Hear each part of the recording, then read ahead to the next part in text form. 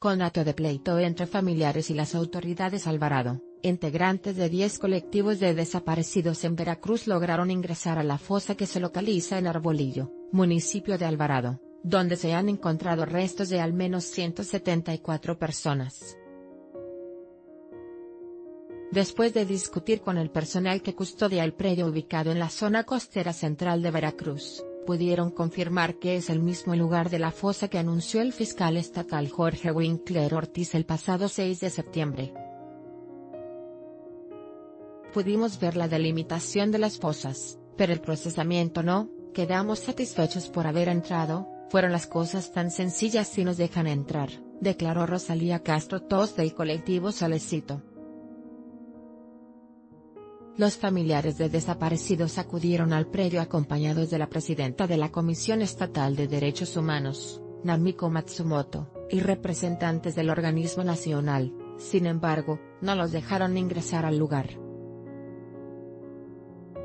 Aunque los integrantes de los colectivos pudieron entrar a la fosa, no les dieron información sobre el procesamiento de los restos ni la investigación que realiza la Fiscalía de Veracruz.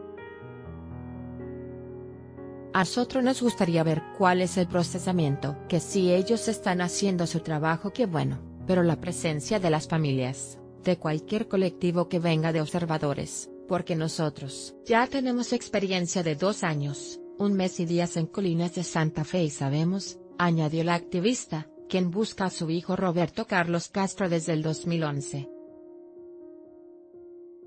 Después de una calorada discusión, el director de servicios periciales de la Fiscalía, Mario Valencia, autorizó el ingreso a los familiares en grupos de 10, para de así no entorpecer las investigaciones. Carlos Saldaña, integrante de Familias Enlaces Jalapa, exigió a la Fiscalía Veracruzana realizar un peinado general de la zona, y que no solo se concentre en el radio hasta ahora delimitado por las autoridades. Familiares de desaparecidos recriminaron que la Fiscalía hiciera una exhumación tan grande, sin el apoyo de la Policía Científica, y sin respetar los protocolos de la Ley General de Desaparición Forzada, y de la Ley de Atención a Víctimas.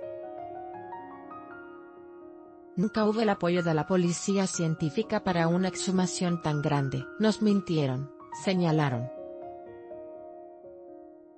Discusión en un segundo turno, la Red de Madres de Veracruz y Buscando a Nuestros Desaparecidos Córdoba-Veracruz, acompañados de los diputados locales panistas, María José Gamboa y José Luis Enrique Zambel entraron a recorrer la zona donde se realizan los trabajos de exhumación. En ese recorrido hubo un momento de tensión cuando el colectivo solicitó en desacuerdo por el trato VIP a legisladores, incitó a la prensa a entrar también al recorrido en la fosa. Policías ministeriales tuvieron que hacer una valla humana, para con empujones contener el acceso a reporteros. El Heraldo de México y Proceso,